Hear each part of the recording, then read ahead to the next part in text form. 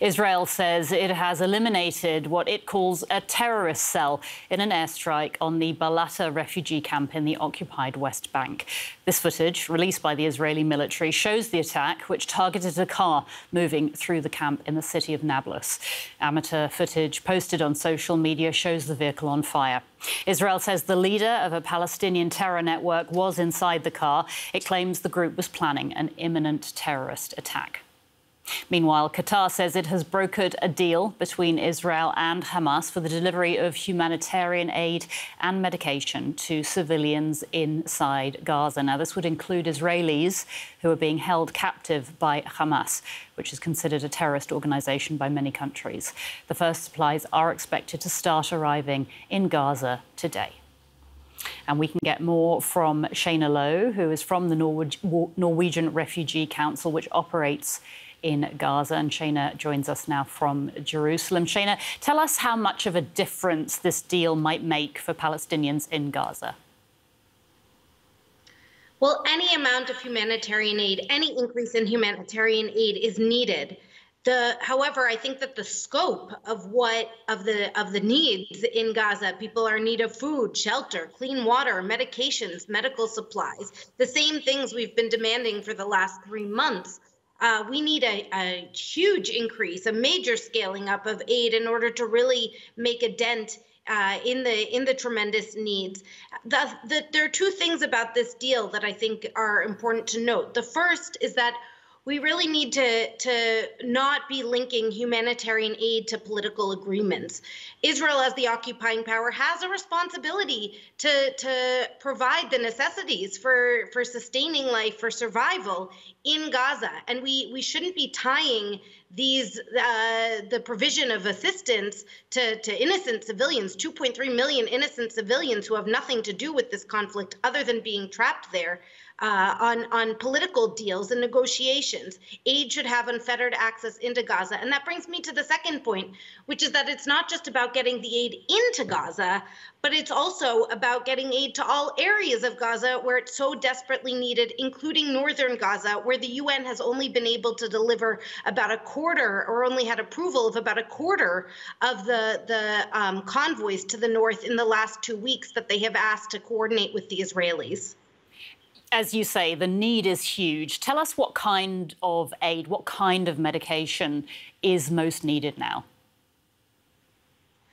Everything is needed in terms of medication and medical supplies. Uh, we need medications to treat chronic disease and illness, people who are in need of dialysis and have kidney failure, people with diabetes.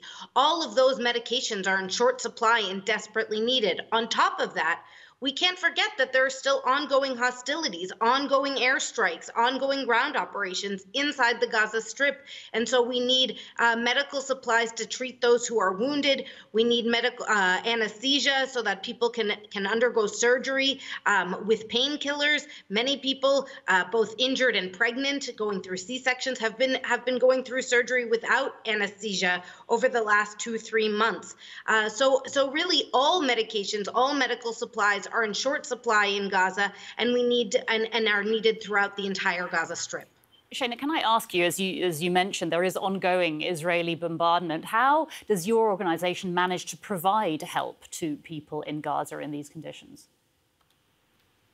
It is extremely challenging. And it's not just about the bombardments, it's also that we've been under communications blackout with Gaza and had very minimal contact with our staff since Friday of last week. It's now the fifth day since this blackout began that, that we've had limited connectivity. So between ongoing uh, hostilities and, and, and difficulties in communicating and coordinating a response, it's very difficult to reach those in need at NRC, at the Norwegian Refugee Council, we've had to limit our uh, assistance really to southern Gaza, to the Rafah area, where over a million people have sought uh, refuge, are, are there and living and seeking refuge. But it's it's incredibly difficult to to really have a, a concerted humanitarian response uh, in Gaza under such conditions, and and particularly to reach those uh, areas north of Wadi Gaza in, in Gaza City and, and the northern Gaza Strip. Shaina Low from the Norwegian Refugee Council. Shaina, thanks so much for your time. Thank you. Special correspondent Aya Ibrahim has more on what it means for the Israeli hostages. Now it's been over 100 days of captivity. They've also had no access to, uh, the, the, Red Cross has not had any access to them uh, during their time of captivity.